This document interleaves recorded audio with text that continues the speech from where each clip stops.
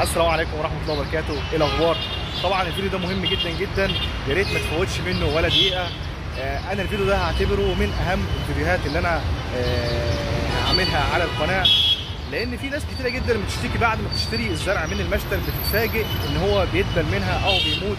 وبيبقوا مش عارفين إيه هو السبب اللي بيخلي النباتات. هل مثلا العيب من المشتل ولا العيب من إيه بالظبط؟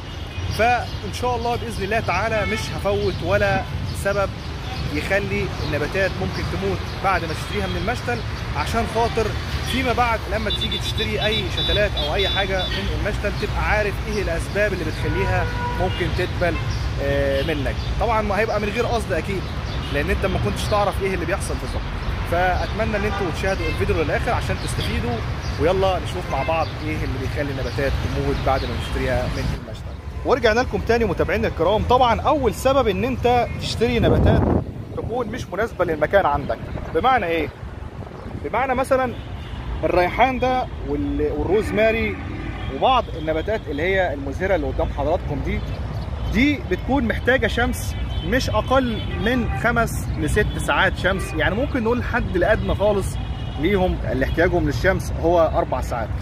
للأسف في ناس بيبقى عندها مثلا بلكونة بحري ما بيكونش فيها غير إضاءة بس أو ممكن ساعتين الصبح كده شمس مش أكتر فبيروحوا المشتل يشتروا مثلا الحاجات دي كلها اللي هي المزهرة فبيتفاجئوا إن هي بدأت تدبل مع الوقت. فدي أول نقطة إن أنت لازم الأول تبقى عارف هل المكان عندك مناسب للأنواع اللي أنت هتشتريها ولا لأ. دي أول نقطة. تاني سبب ممكن يخلي النباتات تموت لما نشتريها من المشتل إن إحنا لما بنيجي ناخد الشتلات زي كده بنبص نلاقي يعني بنلاقي الجذور آه، زي ما حضراتكم شايفين كده خارجة من القصيص. فطبعا بعد ما إحنا بناخدها ونروحها البيت بنحطها على الأرضية بتاعه البلكونه أو البلاط بتاع ال- ال- البيت أو أو السطح أو المكان اللي إحنا هنزرعها فيه وكده أو آسف المكان اللي هنحطها فيه. فبنبص نلاقي النباتات بدأت تصفر وبدأت تدبل. فطبعا السبب إن الجذور بقت متعرضة بشكل مباشر للحرارة العالية. فالحل إن إحنا لو لقينا الش- الشتلات بالمنظر ده نخلي بالنا طبعا آه، من الجذور دي. بنحاول إن إحنا نحط الشتلة على مكان مثلا نحطها مثلا على كرتونة أو خشبة أو ممكن كمان نحطها على آه، حوض عندنا مثلا فيه تربة ونحطها عليه. أو ممكن كمان ننقلها على طول عشان خاطر نتفادى كل المشاكل دي. بس طبعا بالطريقة الصحيحة اللي أنا هذكرها برضو في آه، نفس الفيديو ده عشان خاطر برضو دي من ضمن الأخطاء اللي الناس بتقع فيها هي الخطأ في النقل الشتلات. ثالث سبب بقى وهو ال- الري. طبعا أنا لو رحت دلوقتي سألت عم محمد آه، الراجل الطيب صاحب المشتل لو رحت قلت له يا عم محمد دلوقتي إحنا النباتات دي نرويها كل قد إيه هيقول لك النباتات دي تتروي كل يوم. طبعا ده خطأ للأسف. مفيش حاجة آه، بتبقى ليها مقياس معين. يعني مثلا عندنا شتلات دي صغيرة جدا. تمام؟ آه وفي برضه حاجات بتبقى أحجامها أكبر شوية وفي حاجات أكبر وأكبر.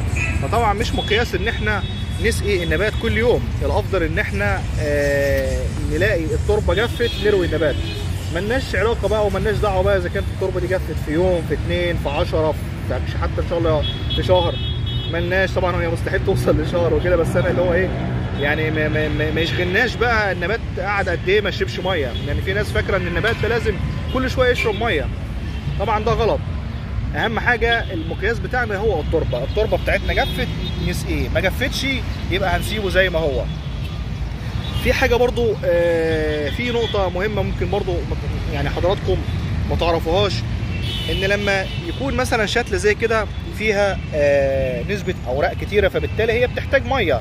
لو فرضنا دلوقتي إن الأوراق دي كلها وقعت كده من من الشتلة فهل نديها كمية المية اللي إحنا كنا متعودين عليها؟ طبعا ده غلط. لأن ال... انت دلوقتي ما عندكش ولا ورقة مثلا موجودة في الشتلة. هتيجي تديها مية بنفس النسبة نفس الكمية اللي كنت بتديها لها في الأول. هتتفاجئ ان ان النبات بدأ ت- يعني آه، يحصل لها عفن وهيموت. فالأفضل إن إحنا دايما نراعي في- نقطة الري دي نشوف النبات. هل النبات فيه ورق كتير؟ يبقى نديله مية. آه، لما التربة تجف نديله مية بنسبة كبيرة. لكن لو لقينا مثلا ال- ال- الأوراق بتاعته ضعيفة تمام؟ يعني مثلا عايز أشوف لكم حاجة كده تكون فيها الأوراق مثلا بسيطة. يعني هي الفكرة بس اللي أنا عايز أوصلها لكم إن لو فرضنا مثلا إن الفرع ده أو النبات كله عبارة عن فرع واحد بس كده ما فيهوش إلا بس كام ورقة فما ينفعش إن إحنا نديله كمية مية كبيرة لأن المية أصلا مش هي مش هيستفيد بيها فدي نقطة برضو خلوا بالكم منها. نيجي عند أهم خطأ للأسف معظم الناس بتقع فيه وهو آه، طريقة ال- النقل نقل النبات الغير صحيحة. طبعا أنا هستعين بمحمود. هيعرفنا إزاي نخلع ال- القصيص من إن إحنا إزاي نخلع النبات من القصريه بتاعته بحيث إن إحنا لما ننقله ننقله يطلع زي ما هو من غير ما يتفكك مننا الجذور. ورينا كده محمود بقى أنت بتعمله إزاي. كده. يعني بص زي ما حضراتكم شايفين كده هو بي- بي- بي- بيضرب ضربات خفيفة على آه، أسفل القصيص فبالتالي بيطلع معانا بالشكل اللي حضراتكم شايفينه كده. بيبقى عبارة عن آه، حاجة شبه الكوباية. طبعا لو فككنا الجذور بتاعة النبات ده هتبص تلاقيه هيموت منك على طول بعد ما تزرعه. فالأفضل إن أنت تيجي تزرعه يبقى بالشكل اللي حضراتكم شايفينه ده كده. فطبعا دي حاجة مهمة برضو لازم آه، تحطوها في عين الاعتبار. شكرا خالص يا محمود.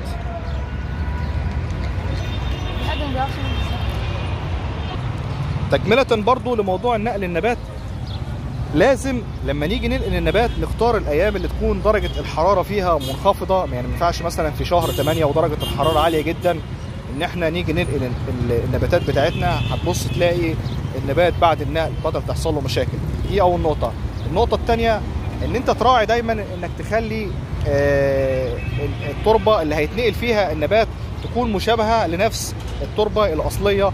يعني مثلا لو النبات مزروع في طمي ورمل لو مش متوفر عندك الطمي ومتوفر عندك بيتموس ورمل فلازم يكون في رمل موجود في التربة اللي أنت هتنقل فيها عشان خاطر تحس الجذور إن هو هو نفس الوسط الجذر اللي هو كان عايش فيه. ان ما حصلش اي تغيير. آه، النقطة الثانية برضو ان بعد ما ننقل النباتات بتاعتنا ما نعرضهاش للشمس المباشرة يفضل ان إحنا بعد ما ننقل الشتلات بتاعتنا ونحطها في قصيص كبير ان إحنا نحطها في مكان آه، ظل آه، أو شمس خفيفة لمدة خمس أو أسبوع بالكتير جدا عشان خاطر يكون النبات اتعود على التربة الجديدة ويكون ابتدى يشتغل تدريجي. فلما نيجي نعرضه للشمس بعد الأسبوع هنبص نلاقي النبات شغال معانا من غير أي مشاكل لكن لو عرضناه للشمس بعد النقل مباشرة هيبقى عنده صدمة النقل اللي حصلت له فبالتالي ممكن برضه يدبل مننا. ودي برضه من ضمن الحاجات اللي بتخلي اللي بتخلي النبات يدبل آه، وتبقى الناس مش عارفة إيه هي ال- الأسباب. آه، آخر حاجة بقى هنتكلم عنها آه، في ناس لما بتشتري ال- ال- النباتات برضو من المشتل بتبقى معتقدة إن هي أول ما تروح بالنباتات دي البيت لازم لازم تتسمد طبعا أنت يفضل إنك تسأل الأول المشتل هل أنتوا كنتم مسمدين النباتات دي ولا مش مسمدينها؟ عشان خاطر ممكن تكون اتسمدت في المشتل في اليوم ده اللي أنت اشتريت فيه وبعد كده تروح بيها ال- البيت عندك فتديها سماد فكده يحصل تركيز عالي للسماد في التربة فتلاقي النبات يتحرق منك. فبرضه دي من النقاط اللي أنتوا برضه تخلوا بالكم منها فيفضل إن إحنا لما نشتري نبات لازم نخليه على الأقل من أسبوع ل 15 يوم ما ندهوش أي سماد خالص تحسبا للمشاكل اللي أنا آه، آه، اتكلمت عنها دي. وكمان برضه عشان خاطر النبات بيبقى لسه مش متعود على المكان الجديد فهو بيبقى كل تركيزه واهتمامه إزاي يأقلم نفسه على عدد ساعات الشمس اللي هي آه، اللي اتحط فيها دي أو الجديدة عليه. فبياخد من أسبوع ل 10 أيام كده عشان يبتدي يشتغل ولما يبتدي يشتغل نسمده عادي من غير مشكلة طبعا يعني بالطرق الصحيحة اللي إحنا دايما بنتكلم عنها في آه، الفيديوهات الخاصة بالتسميد أتمنى يا رب أكون افدتكم في الفيديو ده إن شاء الله ويا ريت بقى ما اسمعش حد يقول أنا اشتريت نبات من المشتل ومات مني. أنتوا لو طبقتوا الحاجات دي كلها اللي أنا قلت لكم عليها والله ما هتلاقوا نبات يدبل منكم أو يموت بعد ما تشتروه من المشتل. بس ما تنسوش بقى بدعائكم لأمي بالرحمة. آه، ادعوا لها ربنا يرحمها ويرحم آه، أمواتنا جميعا يا رب إن شاء الله.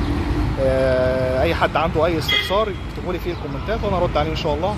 أشوفكم على خير والسلام عليكم ورحمة الله.